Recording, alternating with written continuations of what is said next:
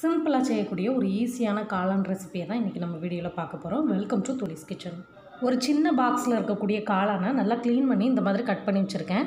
ரெண்டே ரெண்டு பல்லாரி ஒரே ஒரு பழுத்த தக்காளி ஒன்றே ஒன்று ஒரே ஒரு பச்சை மிளகா அரை ஸ்பூன் இஞ்சி பூண்டு பேஸ்ட்டு ரெண்டு ஸ்பூன் க்ரீம் ஒரே ஒரு பட்டை ரெண்டே ரெண்டு கிராம்பு ஒரே ஒரு ஏலக்காய் அரை ஸ்பூன் சோம்பு ஒன்றரை ஸ்பூன் மல்லித்தூள் ஒரு ஸ்பூன் வத்தல் தூள் அரை ஸ்பூன் கரம் மசாலா தூள் அரை ஸ்பூன் சீரகத்தூள் கொஞ்சோண்டு மஞ்சள் தேவையான அளவு எண்ணெய் தேவையான அளவு உப்பு கொஞ்சோண்டு கஸ்தூரி மேத்தி. இவ்வளோ தான் இந்த ரெசிபி செய்கிறதுக்கு தேவையான பொருட்கள். வாங்க இப்போ இந்த ரெசிபி எப்படி செய்யலாம்னு பார்க்கலாம்.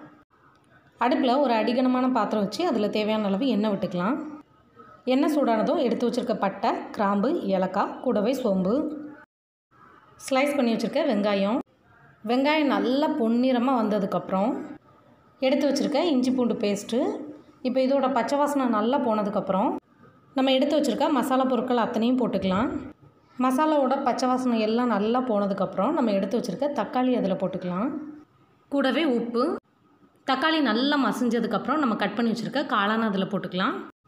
காளானில் அந்த மசாலா எல்லாம் நல்லா படுற மாதிரி நல்லா கிளறிட்டு மூடி போட்டு ஒரு மூணு நிமிஷம் வேக விட்டுக்கலாம். காளானை பொறுத்த வரைக்கும் ரொம்ப நேரம் குக் ஆகணும் அப்படிங்கிற அவசியம் இல்லை. அதிகபட்சம் ஒரு மூணு டு அஞ்சு நிமிஷமே போதுமானது.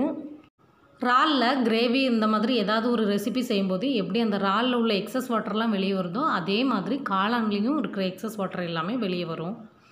அந்த வெளியே வந்த தண்ணியிலே பார்த்திங்கன்னா காளான் நல்லா வெந்துடும் இந்த மாதிரி என்னெல்லாம் நல்லா பிரிஞ்சு வரும்போது நம்ம எடுத்து வச்சுருக்க கஸ்தூரி மேத்தியை அப்படி கைட்டே நல்லா கசக்கி விட்டுக்கலாம். இப்போ உங்களுக்கு கிரேவி எந்த அளவு கன்சிஸ்டன்சி இருக்கணுமோ அந்தளவு தேவையான அளவு தண்ணி விட்டுக்கோங்க. ஒரு ரெண்டு நிமிஷத்தில் நல்லா இறுகி வரும். அந்த ஸ்டேஜில் நம்ம எடுத்து வச்சுருக்க அந்த க்ரீமை போட்டுக்கலாம். க்ரீம் போட்டதுக்கப்புறம் ரொம்ப நேரம் அடுப்பில் இருக்கணும் அப்படிங்கிற அவசியம் இல்லை. ஒரு ஒரு நிமிஷத்துலேயே அடுப்பை ஆஃப் பண்ணிக்கலாம். இந்த ரெசிபி உங்களுக்கு பிடிச்சிருக்கும்னு நான் நம்புகிறேன் அப்படி பிடிச்சிருக்கிற பட்சத்தில் இந்த வீடியோக்கு ஒரு லைக் பண்ணுங்கள் ஷேர் பண்ணுங்கள் சப்ஸ்கிரைப் பண்ணுங்கள் மறந்துடாமல் உங்களோட கருத்துக்களை கட்டாயம் கமெண்ட் பாக்ஸில் போடுங்க. இதே மாதிரி இன்னொரு நல்ல ரெசிபியோட நாளைக்கு நம்ம சந்திக்கலாம். அது வரைக்கும் உங்களிடமிருந்து விடைபெறுவது தோழிஸ் கிச்சனிலிருந்து நான் உங்கள் தோழி. நன்றி வணக்கம்.